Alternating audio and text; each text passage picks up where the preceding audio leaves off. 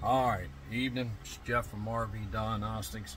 I don't know, 16th or 17th of August, 2023. So, we were working before. There's two other videos on how we troubleshot a relay slash solenoid, because some of y'all call it solenoid, but it's what it does when you turn the key on, engine off on the Sprinter or any type of gasser or diesel, it activates this one, all right, right here, and this is self-grounding right here. So the positive goes here, and then it closes the switch between here and here, these two brass ones. That's why they're brass, okay? So this allows that house battery right back here to charge, right there.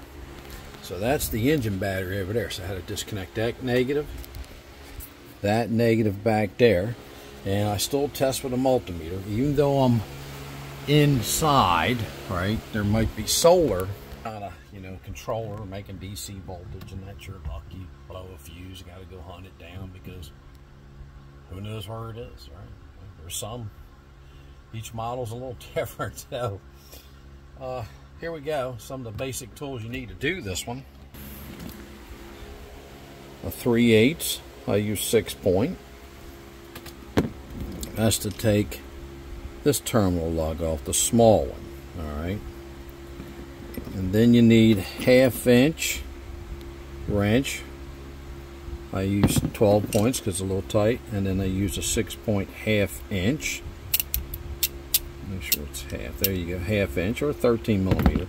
A half inch, 0.7 millimeter, and 13 millimeters, 0.3 of a millimeter. Right, some of y'all out there, oh my God, he told him wrong. You're not torquing down a head to an AGT 1500 turbine with 21 screws in them. All right, so we can get by with these tools, all right? All right, here we go. Put you on pause real quick and show you what I did. Get a flashlight. All right, so what I did was took off the half inch cable, half inch nut here on the brass contactor. Um, and here's this one which fed the house connect disconnect relay. Solenoid whatever you want to call it. And then this comes from the main engine or that battery over there positive.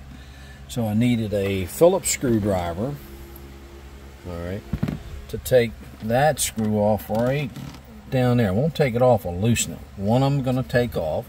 That's your ground wire. Remember I told you the casing of this is ground. Let's say you're in a jam, you can only get one that has two of them, two of these small ones. So one's positive, one will be negative. You take that, run a wire, let's say that's the negative one. There's two of these terminals right here, small ones. One goes to the signal wire, which is this guy. Remember, I, I went over it, that's the diode. Okay. And let's say this is the negative. You would take a little jumper, put it from here to there, and just ground it right there, right? To your negative of your battery. There's plenty of grounds right there. Look, right there. See, there's that ground. So that would work. Usually white is ground and yellow is power in this case. All right. All right, so we're going to loosen this up. We got this one already loose. Now, I thought I did. It's a little bit tight, but let me get it off. All right, so we got that group of wires off right there, okay? Now, for those that might have to like okay you get this out you want to make sure you got the right one you drive down your buddy over in lot 222 can help you. So you want to take and zip tie these wires tie them tape them together so when you get back go oh damn i don't know what one goes where. Because there's what one two three four on there. This side had the two big ones okay? Um, all right so now i'm going to take a screwdriver to that phillips. And unfortunately I don't think there's a secure nut on the other side of this metal bracket here. I'm trying not to drop the nut. This one will probably be easier to get to than that one. So I just loosened that screw up there. And I'll try to take this one all the way off. All right, hold on, we'll be right back. Now you don't have to buy these type of screwdrivers. But you see how that has a hex drive on it? So you push harder here and then use a ratchet to help you turn that screwdriver. Make sure you got the right number Phillips tip Okay, right there. Number two, I think it's number two. Hold on. There it is. Number two. You ain't got to buy Snap-on. I just buy them because I use them every day and I don't want them break on me. So let's get that screw off right there. All right. Like I told you, I got this screw out on this side, right? And they didn't put a, a Loctite nut in there. I probably could, but I'm not. I'm just going to fight a little bit. Put a wrench through here, hold that nut that just fell down right there. Hold on. We got a couple. There we go. That one. I don't know why they didn't put a forever nut in there. Right? But they didn't. That's part of life. Alright, so now we're going to take this signal. Remember, this is a diode. We're going to go over how to check that. That stops this coil from creating more 90 volts DC spike and messing up computers and stuff. Okay, so they even got it crimped together. It's a power and a ground together.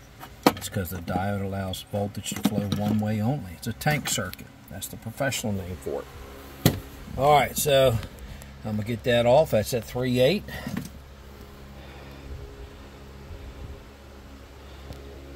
Hold on. 38. There, I have my big old thumb on it. All right, so there you go. We got her hooked up to the new one. We got to put a nut on here. All right. I had to hurry up and do the camera thing. I haven't learned how to untime the camera. For some reason, it'll go off after five or ten minutes. But here you go. I just did that to keep it going. I'm put you on hold and get back to mounting this thing. All right. So found a quicker, faster. There's two screws that hold it. This whole bracket relay. So be careful when you put it back so you don't pinch no wires. Right. There's your, your studs. They go on there so we can go from the back. We can hold the, there's two nuts right there, that one and that one. Alright, that's with the Phillips. That mounts, mounts that solenoid slash relay. I'm to screw that tight now. Be right back. Alright, I know a lot of you when you're doing the double nuts, you don't do this and sometimes you create problems, okay? I'll show you what I'm talking about. You take a thin wrench or just grind one down or go to Harbor Freight and buy cheap stuff. Those are snap-ons, of course. That's what I do for a living, right? Alright, you see it? So I'm to hold that nut while locking down that one. Okay, I'm to do it on both. What I'm, what I'm talking about is right here. You're holding this nut. See, it's already got a a washer on it that's locked down. See it right there, the split. That's why we call it a split washer. So this is tight, but you can by tight once you put the connectors on, the ends, and you tighten this nut down out here, you can spin this and mess up the inside, folks. Okay. So I wouldn't want you to do that. So just hold that and then tighten that one. I'll do the same over here. All right, this is mounted again. All right. They're tight. That's the ground wire right there with the diode in it. All right. I'm sorry. Right here's the ground wire. Power and ground wire together. You go, oh my God, short of ground. No, it has a diode. It's a tank circuit. We talked about that, I think, in video two. All right, so I'm to get this thing together. That's pretty much what it takes to mount them. Couple different tools. I went over those for you.